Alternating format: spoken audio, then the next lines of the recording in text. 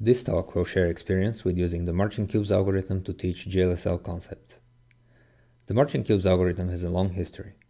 Numerous variations and enhancements of the original ideas have been proposed, including work that has appeared fairly recently. The purpose of the algorithm is to extract a surface of constant density, and the original application was sampled volumetric data from medical imaging. A basic implementation of the Marching Cubes algorithm is easy to create and can be used effectively in computer graphics courses to teach the various stages of the shader pipeline. In particular, the algorithm offers a natural motivation for geometry shaders, and as an added benefit, produces quite compelling results. Geometry shaders are an intermediate stage that offer a high degree of flexibility. As shown here, upon receiving a single point from the previous stage, the geometry shader can emit additional points to accompany the given vertex, or can produce line or triangle primitives that are related to the given input. We illustrate the Marching Cubes algorithm and its connection to geometry shaders by discussing first the 2D case. Given a dataset and an ISO value alpha, the goal is to extract an ISO line or a contour for the dataset. The data is overlaid with a grid or has already been sampled that way, and the grid vertices are classified as either inside or outside the dataset with respect to the given ISO value. The pattern of in-out assignments suggests how the ISO line intersects the grid cells, as shown in the examples here, since the ISO line and ISO surface effectively separate the dataset into an inside and an outside region. Finally, the patterns are used to guide the linear approximation to the ISO line. A different ISO value will change the in-out classification of grid vertices and will lead to a different ISO line approximation. The intersections of the ISO line and grid cells are estimated via linear interpolation along each edge based on the actual data values. In the 2D case, there are 16 possible patterns based on the in-out classification of vertices. The five canonical cases are shown here, and all patterns can be enumerated easily by hand and stored in a compact lookup table. Here we show one possible encoding of the patterns in a lookup table. For each pattern, we store the inferred iso line segments by listing the edges intersected by each segment. We use minus 1 to terminate a pattern, and minus 2 to indicate a disconnected isoline fragment. Each row in the lookup table will contain the information for emitting line strips to render the corresponding section of the isoline. The index of each configuration is obtained from its binary in-out classification of the vertices. The task of generating all 16 configurations is made simpler by the fact that a rotation modulo 4 can generate the related cases for each canonical configuration.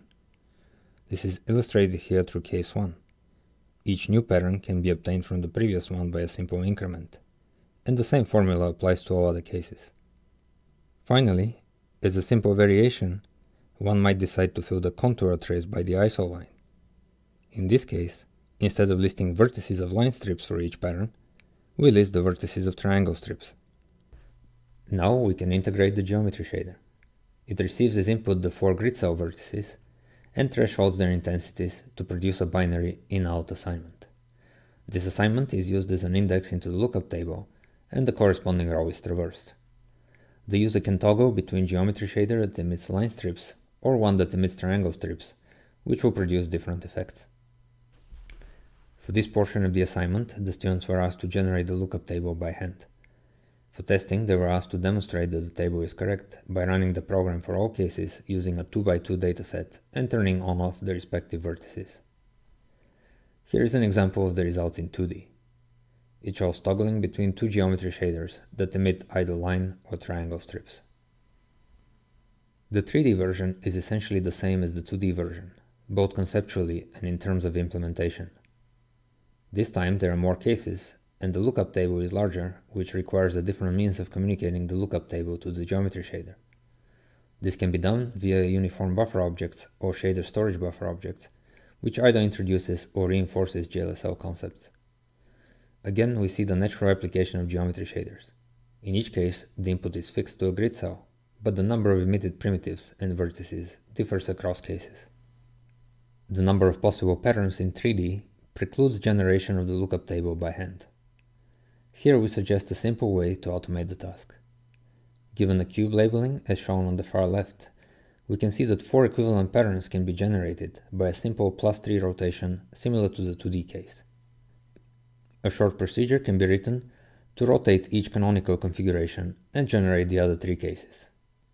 Now if we consider the cube tipped forward so that it is resting on what was originally the front face, we can expand the procedure by sending the relabeling so that the indices are looked up before printing. The following pseudocode captures the main idea. Describing the 15 canonical cases is a good exercise and the cube relabelings are fixed, so the amount of work done by hand is manageable. The procedure prints the actual source code of the lookup table to be compiled and linked with the main application. A number of students noted that they had never considered the possibility of writing a program to generate code for another program, so they found the exercise quite illuminating. This was an unintended additional positive outcome. Here we show sample results based on a student's work. On the left is the result from an actual submission. In this iteration of the assignment, lighting and normal computation were not considered. For us, GLSL was a topic covered in the last few weeks of the semester, and there was concern that adding all features might be overwhelming. We did not use the ISO value and vertex interpolation for the triangle primitives, but instead used the average values. This gave enough variation that made it possible to appreciate the results.